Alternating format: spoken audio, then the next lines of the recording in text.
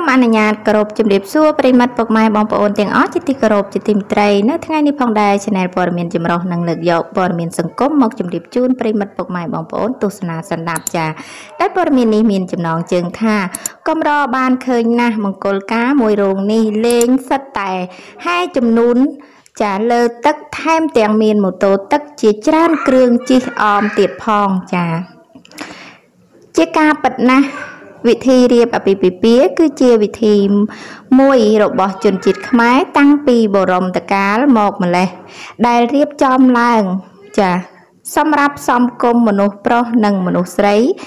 ឲ្យคล้ายជាប្តីប្រពន្ធនឹងគ្នាដើម្បីសាងសុភមង្គលវិធីមង្គលការនៅកម្ពុជាមានដើមកំណើតចាប់តាំងពីដើមទសវត្សរ៍ទី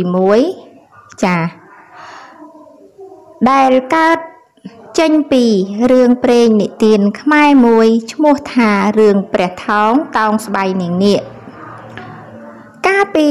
បុរាណពិធីមង្គលការត្រូវបានគេធ្វើឡើងរយៈពេល3ថ្ងៃប៉ុន្តែបច្ចុប្បន្ននេះត្រូវគេបានពង្រួញវិធីមួយនេះ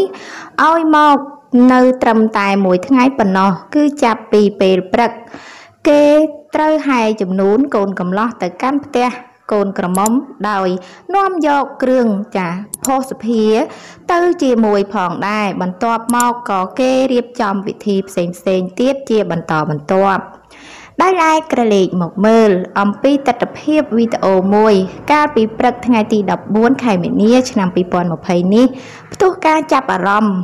មួយពីសំណាក់អ្នកនិយមប្រើប្រាស់បណ្ដាញសង្គម Facebook ដោយវិធីហែកចំនួនក្នុងវិធីមង្គលការមួយនេះ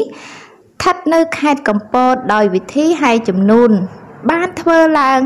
នៅលើទឹកកំសាន្តទេសចររបស់ខ្មែរយើង ដែលមានអ្នកចូលរួមយ៉ាងច្រើនកុះកនិងប្លែកគួរឲ្យចាប់អារម្មណ៍តែម្ដង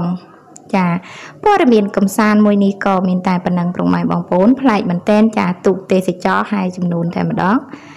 ព្រោះដោយសារតែប្រហែលជាខាងកូនស្រីគាត់នៅខាងនោះហើយមើលទៅពុកម៉ែបងប្អូន ហើយចំនួនពីត្រោយម្ខាង ទៅត្រោយម្ខាងចាចានៅខេត្តកំពតមើលទៅសប្បាយមែនទែនប្រិមិត្តពុកម៉ែបងប្អូនមានម៉ូតូទឹកអមសងខាងតែម្ដងចាចាព័ត៌មានកំសាន្តនេះក៏មានតែប៉ុណ្ណឹងនាងខ្ញុំក៏សូមអរគុណទៅដល់ប្រិមិត្តពុកម៉ែបងប្អូនផងដែរហើយក៏សូមឲ្យប្រិមិត្តពុកម៉ែបងប្អូនទាំងអស់ជួយចុច Subscribe សញ្ញាកណ្ដឹង Like និង Share ដើម្បីទទួលបានព័ត៌មានថ្មីៗចាសូមអរគុណសូមជម្រាបលា